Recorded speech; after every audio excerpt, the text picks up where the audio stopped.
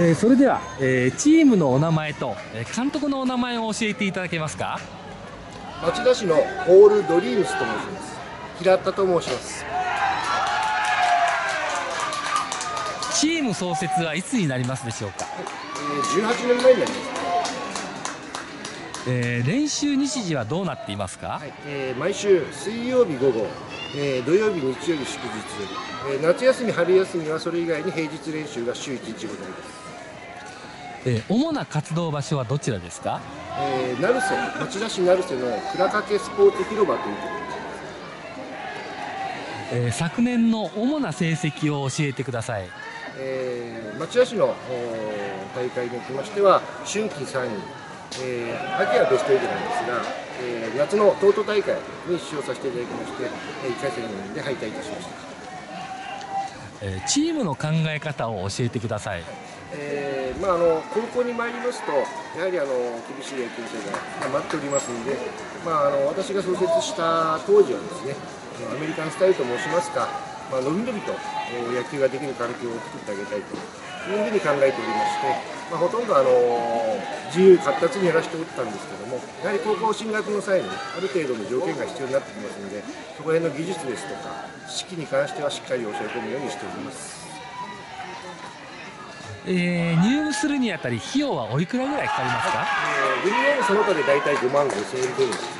あとはあの3か月に一度、部費として1万円を徴収しております。えー、夏の合宿の際は、えー、7月上旬に集金いたしまして、8月中旬に合宿がございます。それに関しましては、大体費用として3万3000円から3万5000円春合宿は2泊、町田市の施設を使いますので、こちらは球団で負担しております。えー、今、えー、選手は何名ぐらいいらっしゃいますか、えー、現状31名ですね。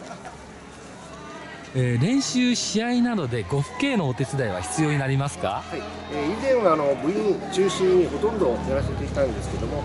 えー、近年はあの呉服系の方からあのご参加の申し出が、えー、多数ございますので、えー、いろいろお手伝い、本日もあの移動の際の、えー、車両の提供とかお願いしております。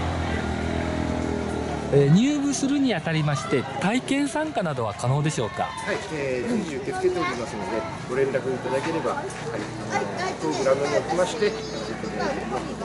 ろしくお願いいたします。えー、最後に、えー、監督から、えー、入団を希望される選手あるいはご父兄の方へメッセージなどございましたらお願いします、え創設いたしまして、まあ、現在あの小学部もございますし、えまあ、小さい頃から皆さんがあの野球の環境に携われるような、え雰囲気で続けておりますので、えまあ、練習日数も通常のクラブチームに比べますと、え非常に多いので、まあ、お子さんが楽しく怪我なくできるように、え特に怪我に関しましては最大限注意を払いまして高校に進む際、え怪我のないあのちゃんとした体で、え野球に携われるようにしていきたいと考えております。よろしければぜひお越しくださいませ。はいどうもありがとうございました。